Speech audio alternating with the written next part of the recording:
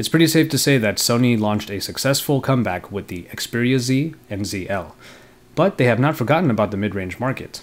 Now, the mid range market may not be the most exciting, but it might just be another place for Sony to shine. Hey, it's Joshua Vergara from Android Authority. What's going on, everybody? And this is the Sony Xperia SP.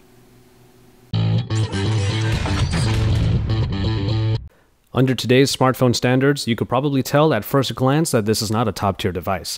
After all, the frame accommodates a 4.7 inch screen and is altogether smaller than the 5 inch screen devices that we've seen throughout 2013. Sony has proven itself with design on their flagship smartphones, and it shows on the SP's rectangular form. The front is comprised almost entirely of the screen, and the signature big silver power button is about halfway down the side, below volume rockers and above a dedicated camera button. The frame is made of aluminum, which gives the phone some heft, a sturdy feel, and easily grippable flat sides. Around the back is the 8 megapixel camera surrounded by a removable matte plastic cover. And finally, at the bottom of the device is a see through plastic that diffuses the LED notification light. This is definitely the most unique aspect of the phone's design and is an elegant yet different take on an otherwise typical Android smartphone feature.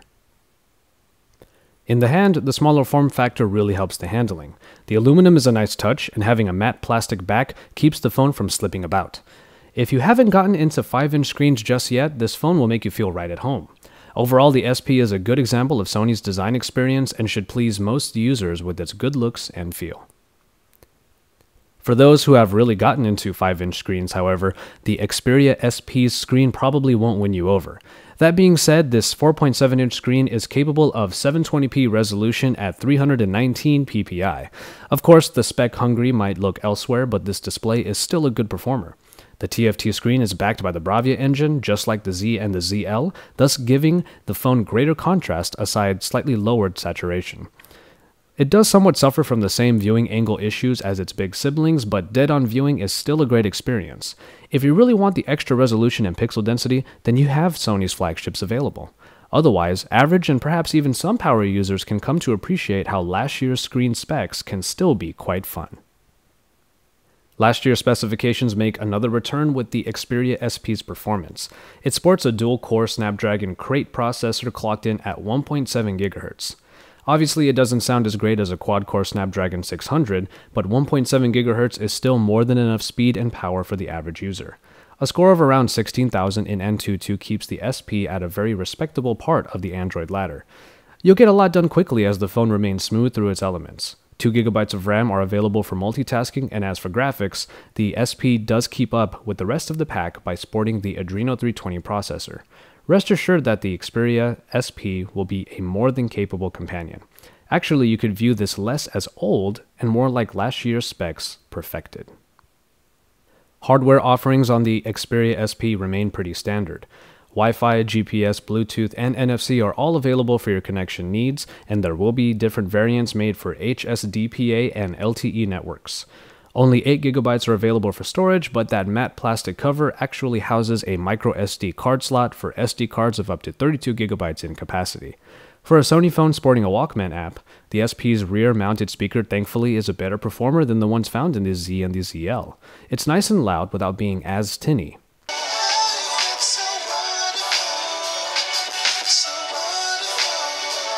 And of course, as you can see at the bottom, the Xperia SP is having a little party of its own with a dynamic LED light. It not only blinks when notifications happen, it goes along with whatever music the phone is playing. It's a great addition that really sets this phone apart from its fellow performers, and it's definitely this phone's cool factor. Usually, a removable cover is good news and a sign of two big features. Unfortunately, I have to burst that bubble and say only one of those features made it onto the Xperia SP.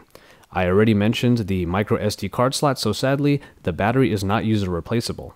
But it's not all bad news. For a 4.7 inch screen device, it packs a big 2370 mAh battery. With slightly less powerful bits inside, this phone's battery can easily go the distance. A locally looped video ran down half of the battery in just over 3 hours, making this phone likely capable of close to 7 hours of straight local media consumption. Maybe more if you take advantage of the good power saving features. The battery is a great example of how the Xperia SP manages to blur the line between mid range and top tier, or last year and current specs. The 8 megapixel camera on the Xperia SP takes the same general idea from the Z and the ZL. Sony's Superior Auto works to find the right scene mode to use for the frame, and features like HDR, touch capture, and panorama are also available. All of these modes are easily accessible in the app viewfinder. Pictures are pretty good with nice contrast and details, though they can be a little too saturated at certain times. Low light performance, though unsurprisingly, yielded lower quality pictures. Ultimately, the camera on the Xperia SP is a capable shooter, but isn't as great as even other performers from last generation, when 8 megapixels were the norm compared to today's 13 megapixels. And finally, the software. The Xperia Z's UI basically makes its return in this Jelly Bean 4.1.2 build. It is the same melting pot of elements from multiple sources ice cream sandwich inspired color schemes, Jelly Bean features like Google Now, and Sony Editions.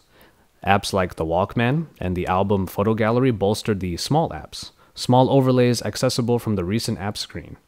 Sony takes a more minimalistic approach to their UI, and if you prefer the basics with some extras and then all in a nice shell, the Xperia UI should still please.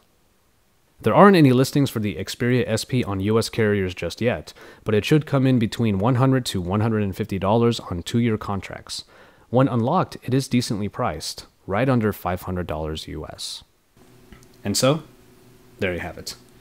The spec hungry and those looking to be on the bleeding edge might look past the Xperia SP, but even for them, this should still be an attractive package.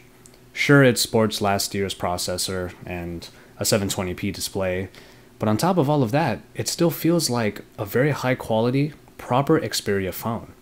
The price is a good selling point, as it's half the price of a lot of top tier current devices, and when you add in a couple of the unique features it has, like the LED light at the bottom, you have a unique experience that a lot of people should still have a lot of fun with.